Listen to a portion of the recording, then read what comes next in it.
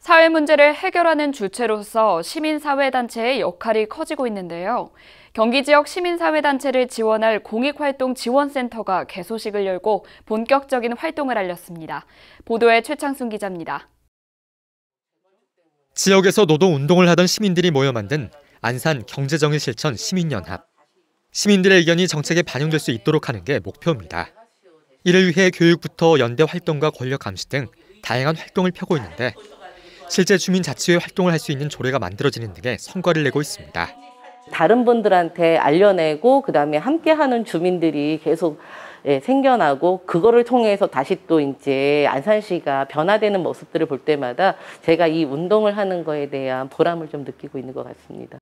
도내 복지와 사회 서비스, 자원봉사, 국제 교류 등 다양한 분야에서 활동하고 있는 비영리 민간 단체는 2천여 곳.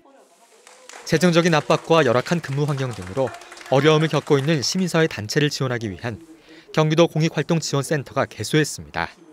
센터는 공익활동가와 시민단체 간 협업을 위한 공간과 회의실, 휴식 공간인 도민 카페 등을 갖추고 있습니다. 공익활동 홍보 채널 활성화와 민관 합동 정책 토론장 운영, 지역 순회 간담회 등 7개 사업을 운영합니다. 첫 지원 사업으로는 도내 시민사회단체의 신청을 받아 코로나19 위기를 극복할 수 있는 공익 활동을 지원할 계획입니다.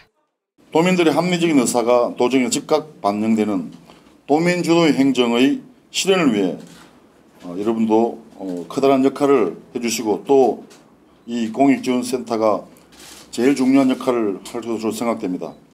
경기도는 공익활동지원센터를 통해 시민사회단체 역량이 강화되면 도민들이 직접 정책을 펼치고 집행 과정에 참여할 수 있는 통로가 확대될 것으로 기대하고 있습니다.